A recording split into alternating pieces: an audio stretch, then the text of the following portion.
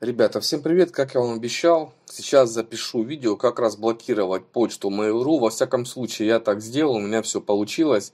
Вчера подписчик мой Димас написал вот такой вот комментарий по поводу почты Mail.ru и облака Mail.ru. У него, значит, заблокировалась почта, и, соответственно, человек не может зайти в свое облако Mail.ru. По этому поводу я публиковал уже видос, вот он, если интересно, посмотрите. Но перед тем, как рассказать, как разблокировать почту Mail.ru, подпишитесь, пожалуйста, на мой видеоканал. Итак, поехали, ребята. Вот буквально дней пять назад мне такое же письмецо прилетело. В общем, не письмо, а когда я пытался зайти в свой аккаунт Mail.ru, вот, значит, э, вот такое сообщение увидел. Наподобие такого сообщения – мы предполагаем, что ваш почтовый ящик был взломан целью защиты ваших данных. Мы временно заблокировали доступ к ящику. Ну, возможности вот этой нижней части у меня не было.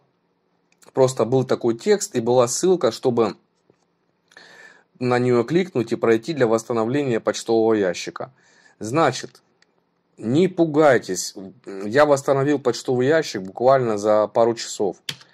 Значит, что будем делать? Вас перекинет примерно вот такую вот форму для восстановления доступа к ящику. Тут 150 вот этих всех полей, которые заполнить нужно. Но не обращайте сильно на них внимания. Значит, самое главное, что вы должны указать, это вы должны знать пароль от своей почты. Это 100%, потому что вот эти значит, программы, они сопоставляют логин и пароль ваш э, для того, чтобы понять, разблокировать вам ящик или не разблокировать. Поэтому пароль от почтового ящика вы должны по-любому знать и по-любому его указать. Вот сюда вот. Форму пароля, которую вы использовали для входа в ящик. Вот, укажите здесь пароль, это самое главное. Дальше пошли, вот это пошла, дальше муть, вот это вот вся непонятная. Название личных папок в вашем ящике. Информация о последних отправленных письмах, это вообще не указывайте. Адрес, э, адреса тех, кому вы чаще всего пишете, это можно не указывать.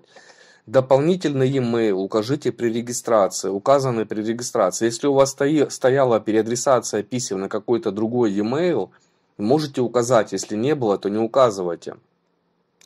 Номера телефонов, которые вы указывали в э, настройках, если у вас не было указано номера телефона, то не указывайте его. Далее. Адрес пересылки. Вот если у вас была указана почта для пересылки, то тогда указывайте.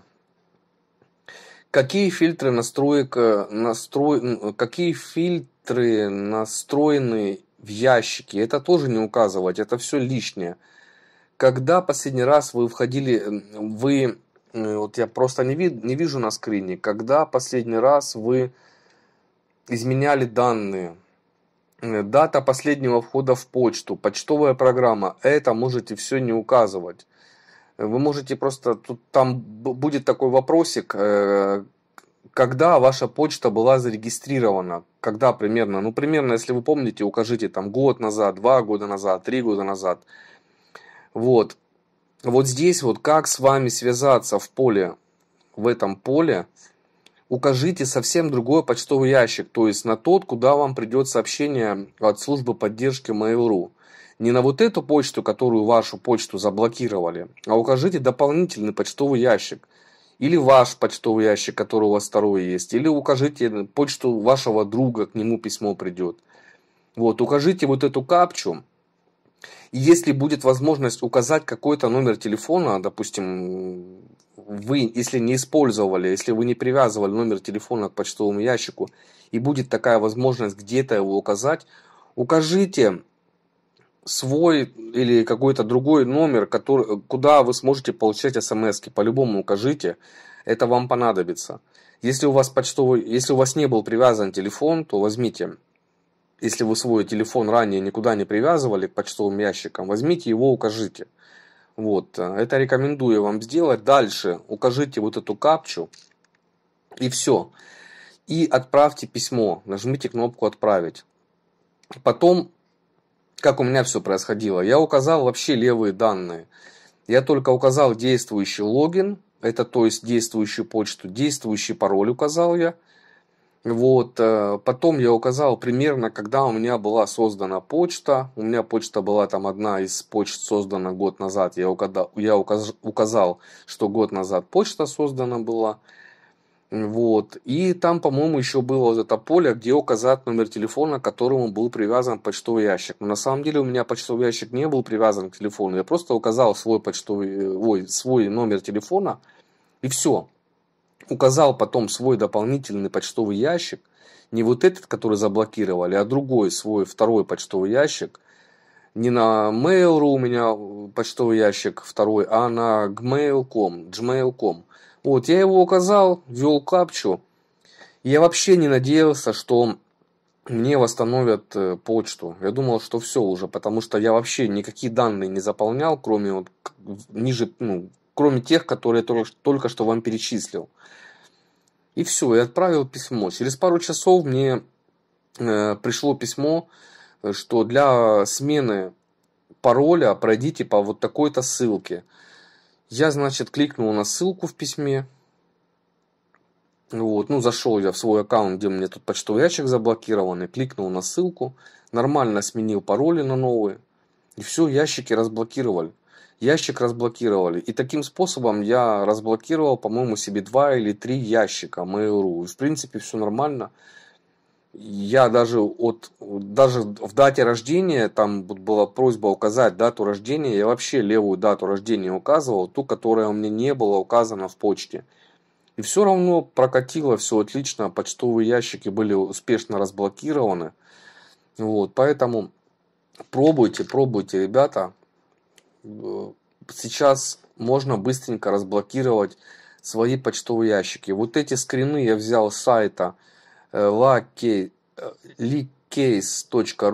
Вот, если вам интересно, можете, я ссылку это оставлю в описании под видеороликом, можете зайти на этот сайт и почитать как более подробно, как нужно разблокировать. Но в принципе я вам все рассказал уже. Вот. Не обязательно заполнять все вот эти данные, которые требуют какие папки указать, какие там, кому вы отправляли письма, когда и во сколько, все, как говорится, даты, все даты, все вот эти пароли и явки, это можно не указывать. Я вам уже рассказал, что указывать. Ну все, ребята, в принципе, пробуйте, разблокируйте. Значит, Димас, если это, это видео увидит, я ему сейчас ссылку отправлю в комментарии. Пусть попробует все-таки разблокировать, все-таки жалко, э, жалко Э, будет, если у него не получится это сделать, очень печально будет, потому что у человека в облаке Mail.ru хранились фотографии, вот, а это уже хреново, потому что облако Mail.ru это вообще ненадежное хранилище. Я уже об этом рассказал вот здесь вот в видео. Не используйте облако Mail.ru. А также вот еще у меня есть видео, где я рекомендую хранить фотки и видео Поэтому посмотрите еще этот видос. Сейчас я оставлю в конце видео рекомендацию на это видео. Вот он видос, где хранить видео и фото. Посмотрите этот видос. И если вы на облаке храните какие-то свои важные фотографии, важные видеоролики, например, семейный какой-то архив, немедленно его оттуда уберите, немедленно выгрузите все свои вот эти файлы и больше облаком Mail.ru не пользуйтесь.